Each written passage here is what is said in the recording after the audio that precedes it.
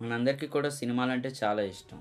అందువల్లే అప్పుడు ఎప్పుడో వచ్చిన మాయాబజార్ నుంచి రీసెంట్గా వచ్చిన సైరా నరసింహారెడ్డి వరకు ప్రతి ఒక్క సినిమాని మనందరం కూడా ఎంతో బాగా ఎంజాయ్ అయితే మాత్రం చేసాం. సేమ్ ఇలాగే హాలీవుడ్లో కూడా ఒక డికేడ్లో అంటే ఈ డికేడ్లో వచ్చిన చాలా మంచి మంచి మూవీస్ అయితే మాత్రం ఉన్నాయి. కానీ నేను ఇందులో మీకు చెప్పబోయే సూపర్ హీరో టాపిక్స్ అని నేను ఇందులో చెప్తా. కానీ అవే ఎందుకు ప్రజెంట్ నేను ఈ డికేడ్లో అందులో నైన్ మాత్రం ఎందుకు చెప్తున్నానంటే ఇప్పుడు ఒకప్పుడున్న హాలీవుడ్ వేరు ఇప్పుడున్న హాలీవుడ్ వేరు. ఎందుకంటే ఒకప్పుడు హాలీవుడ్ సినిమాలు అంటే అన్ని జనర్స్ అంటే అన్ని అంటే అన్ని ఏ టైప్ కంటెంట్ ఉన్నా కూడా అందరికీ నచ్చేది. కానీ ఇప్పుడు ఓన్లీ సూపర్ హీరో కంటెంట్ ఉంటే చాలు. అది ఏ విధంగా వెళ్తుందనేది రీసెంట్గా రిలీజ్ అవుతున్న సూపర్ హీరో మూవీస్ చూస్తే మీ అందరికీ కూడా అర్థమవుతుంది అండ్ దానికి ఇంకొక ఆధారం ఏంటంటే రీసెంట్గా ఎంతో మంచి కంటెంట్తో వచ్చిన సినిమాలు ఫ్లాప్ అవడం కూడా దీనికి ఇంకొక నిదర్శనం.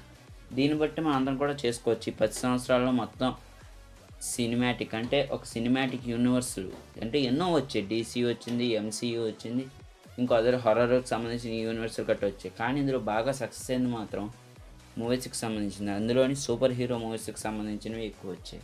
అది ఎక్స్మెన్ సిరీస్ కావచ్చు లేకపోతే సోనీ ప్రదర్శించే వెనము ఆ సిరీస్లైనా కావచ్చు లేదా మార్వెల్ సినిమాటిక్ యూనివర్స్ కావచ్చు లేకపోతే డీసీ సినిమాటిక్ యూనివర్స్ అయినా కావచ్చు.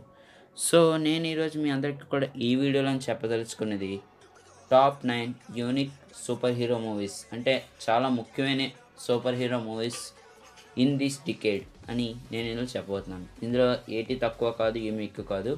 పెట్టాలి కదా అని చెప్పి నైన్ అని చెప్పి పెడుతున్నాం. It is not a particular order okay so మన కింద కావాల్సిన let start our video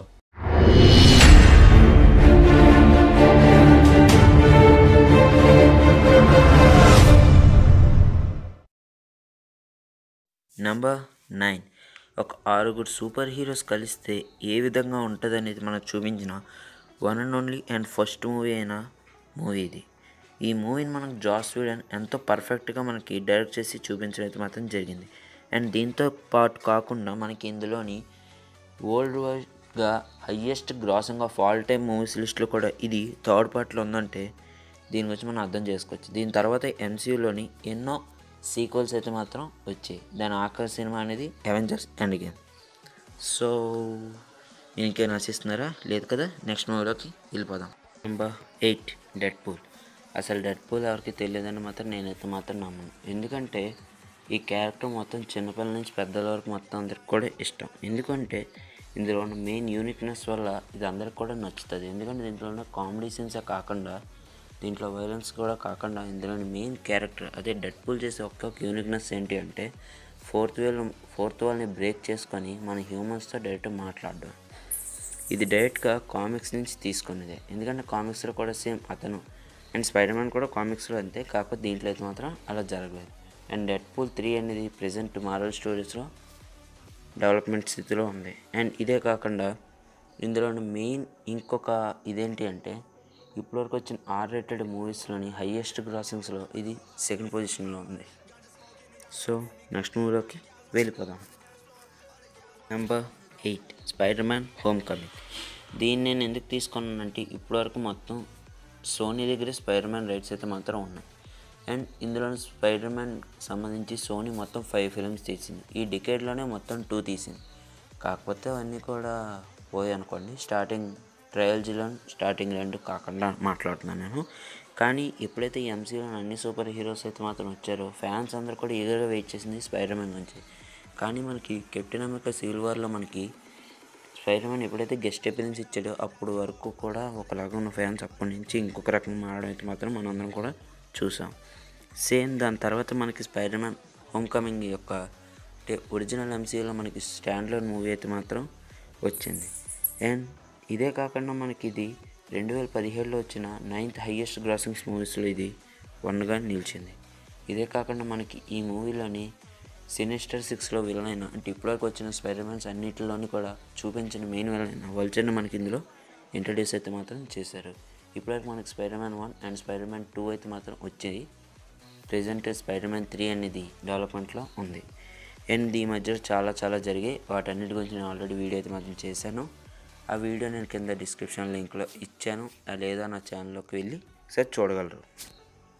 Number seven Man of Steel ఇప్పటి వరకు కూడా మనం ఎంసీయూలో మూవీస్ గురించి నేను ఇందులో చెప్పాను కానీ ఇప్పుడు నేను డీసీయూకి సంబంధించి చెప్తున్నాను. డీసీయూలో వచ్చిన first movie Man of Steel ఇందులో యూనిక్నెస్ ఏంటి అనేసి అనుకుంటున్నారా? ఇప్పుడు ప్రజెంట్ వరల్డ్ వైడ్గా నడుస్తున్న మూమెంట్ పేరు చెప్పండి. Snyder cut Zack Snyder DCU చేసిన ఫస్ట్ మూవీ ఏదైనా ఉందంటే అది మ్యాన్ ఆఫ్ స్టీల్. అండ్ ఇందులోని మనకి క్రిస్టఫర్ నోలియన్ యొక్క హ్యాండ్స్ కూడా మనకి ఇందులో ఉన్నాయి. అండ్ ఇదే కాకుండా మనకి దీంట్లో నుంచి మనకి ఈ జస్టిస్ లీగ్ యొక్క మెయిన్ ప్రాసెస్ అంతా కూడా స్టార్ట్ అయింది అంతా కూడా దీని గురించి వల్లే స్టార్ట్ అయింది. నాకు ఇందులో యూనిక్నెస్గా అనిపించింది. అంటే మెయిన్ ఇంపార్టెన్స్ ఏంటి అంటే జస్టిస్ లీగ్ మూవీ వరకు వచ్చిన దానికి మెయిన్ రీజన్ ఏదైనా ఉంది అంటే అది ఇక్కడి నుంచే స్టార్ట్ అయింది. అందువల్ల నేను దీన్ని ఈ ప్లేస్లో పెట్టడం అయితే మాత్రం జరిగింది. నెక్స్ట్ మూవీ గురించి వెళ్దాం. నెంబర్ సిక్స్ థార్ రాగ్నరాక్ ఎప్పుడైతే థార్ రాగ్నారక్ వచ్చిందో అప్పటి నుంచి థార్ యొక్క క్యారెక్టర్ అయితే మాత్రం చాలా అంటే చాలా చేంజ్ అయింది. ఎందుకు అంటే అంతకు ముందు వరకు కూడా మనం థార్ క్యారెక్టర్ని చూసాం. అది కూడా దేని దేంట్లో చూసాం?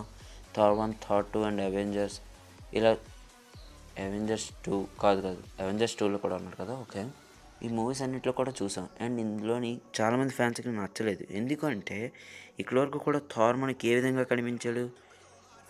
ఎంతో డార్క్గా ఎంతో అగ్రి అంటే యాంగ్రీనెస్గా మనందరికి కూడా కనిపించాడు. కానీ ఫస్ట్ టైం మనకి ఈ మూవీలోనే థార్లో ఉన్న కామెడీ నేచర్ అనేది మనకి ఇందులో కనిపించింది. ఇక్కడ వరకు కూడా థార్ ఎట్ అందరికీ బోర్ కొడుతున్నాడు అనే టైమింగ్లోనే ఒక రీఫ్రెష్ లాంటి మూవీ ఏదైనా వచ్చిందంటే అది థార్ రాగ్నరాక్. దీని నుంచి మనకి థార్ యొక్క ఒరిజినల్ పవర్స్ అన్నీ కూడా మనకి దీని తర్వాతే మనందరికి కూడా చూపించడం మాత్రం జరిగింది. సో ఇప్పుడు next video.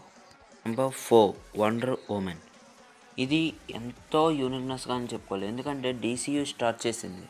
కానీ వాళ్ళకి అప్పటి కూడా ఒక్క హిట్ లేదు. వచ్చిన ఒకే ఒక హిట్ మ్యాన్ ఆఫ్ స్టీల్ అది కూడా పెద్ద హిట్ కట్ కాదు మినిమం కానీ ఎప్పుడైతే వండర్ ఉమెన్ రిలీజ్ అయిందో మొత్తం రికార్డ్స్ అన్నీ కూడా పోయి. ఎందుకంటే డీసీయూని ఏదైనా కాపాడేయండి అంటే అది ఈమె ఈ మూవీ వచ్చిన తర్వాత మనకి ఎన్నో రికార్డ్స్ అన్నీ కూడా కూల్ పడిపోయాయని చెప్పి చెప్పుకోవచ్చు. టూ థౌజండ్ సెవెంటీన్లో వచ్చిన హయ్యెస్ట్ గ్రాసింగ్ మూవీస్లో ఈ మూవీ టెన్త్ పొజిషన్లో అయితే మాత్రం నిలిచింది. దీన్ని బట్టి మీ అందరికీ చెప్పవచ్చు ఈ మూవీ యొక్క క్రేజ్ అనేది ఏ విధంగా నడిచింది అనేది so next movie. Three Black Panther. రెండు వేల పద్దెనిమిదిలో ఆస్కార్ విన్ అయిన అంటే ఈ సంవత్సరం కదా వచ్చింది ఆస్కార్లోని ఎంసీ యొక్క మూవీస్లోని విన్ అయింది ఏదైనా ఉందంటే అది Black Panther. And best picture యొక్క నామినేషన్ అందుకున్న మూవీ ఏదైనా ఉందన్నా కూడా అది బ్లాక్ ప్యాంథరే. ఈ మూవీకి మొత్తం ఆస్కార్లో మూడు అవార్డ్స్ వచ్చాయి.